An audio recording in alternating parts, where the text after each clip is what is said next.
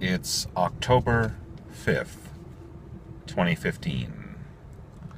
And this is a commentary about the work of a man named Darrel Ray and his Secular Sexuality podcast, and also a group that uh, he helped found called Recovery from Religion.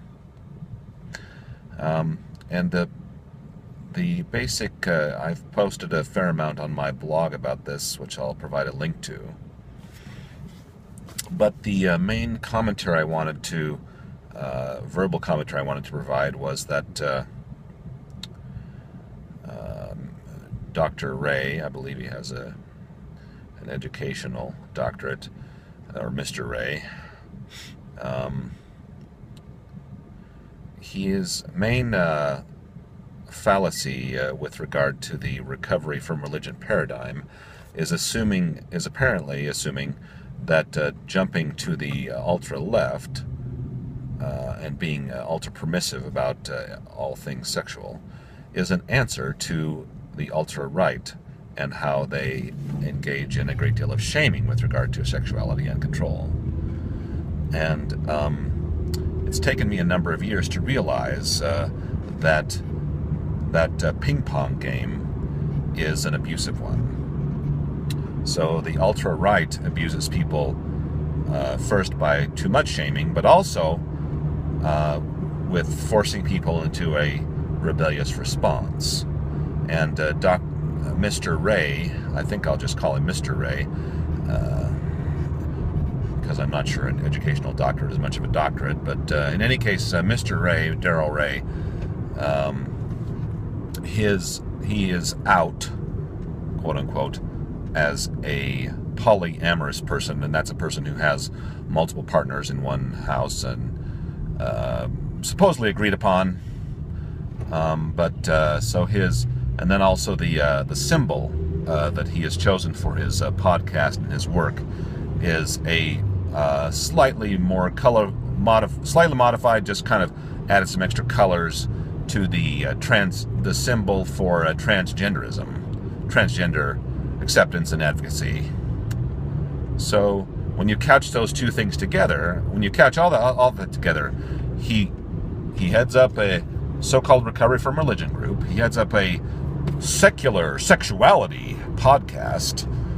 Um, when you merge all of that uh, together, uh, with the fact that he is uh, his, the symbol he's chosen is for his uh, work is transgen- transgenderism advocacy and promotion, and uh, the fact that he promotes uh, pol-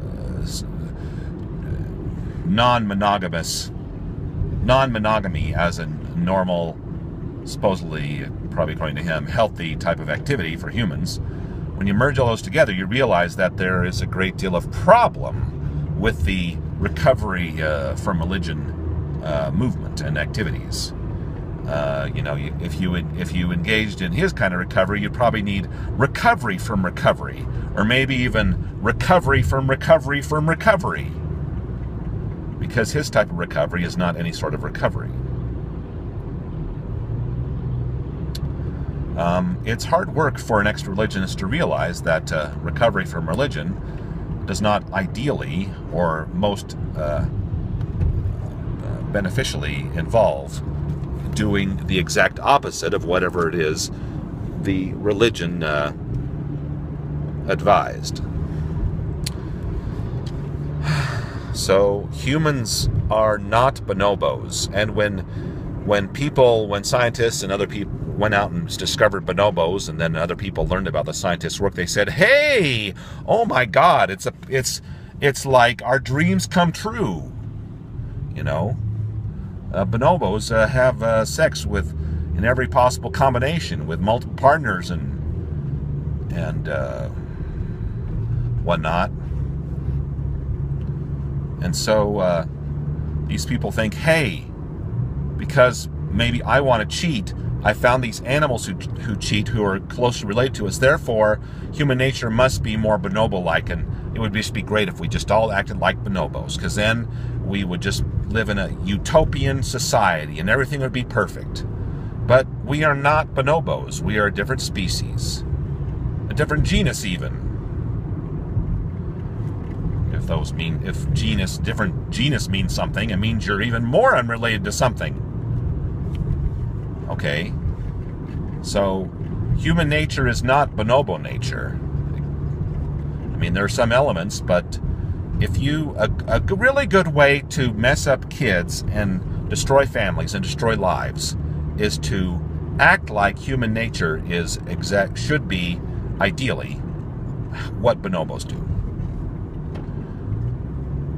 And another thing uh, that I've talked about on my blog uh, is how Daniel Dennett uh, came up with this idea that uh, religion you know, is a natural phenomenon. He wrote, wrote a book about it, talked about it, and I think that's a very it's it's a it's a dangerous idea. Like Darwin had a dangerous idea. Okay, Charles Darwin. Well, Daniel Dennett had a dangerous idea, and his a dangerous idea is that religion is a natural phenomenon. Now, Daniel Dennett himself, he's most of his talking about that uh, subject uh, revolves around how uh, that means that uh, you know there's no God in religions, and that's okay. But people who come up with dangerous ideas sometimes they don't they don't fully comprehend themselves the full entire impact and scope of their ideas. So, um, one key thing to realize is that if you realize that religions are fully natural evolution products of evolution, um, that uh, there's there, the codes of conduct in religion cannot, can have some pretty damn beneficial uses and benefits for helping keep people happy. So, for example, in evolution, if there's one trait that naturally occurs that is kind of negative, okay, then how do you counter that? Well, you could have another, a, a code of conduct, which is also naturally derived, that counters that. So they're kind of counter each other, okay? Um, so what's an example of that? Well, humans get upset and angry, but we could have a rules, codes of conduct, which says if you uh, are violent against somebody, then maybe you need to go to jail. Okay, that's one example.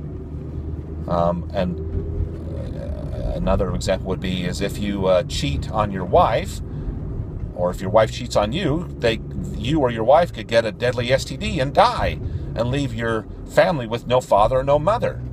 So, what's a good way to avoid that? Well, a natural uh, way that you know evolution could generate a response to that is by having a religious code of conduct that says it would it's a bad idea to cheat on your wife and to or cheat on your husband and to get uh, an S- STD that kills you or you know and destroys your family.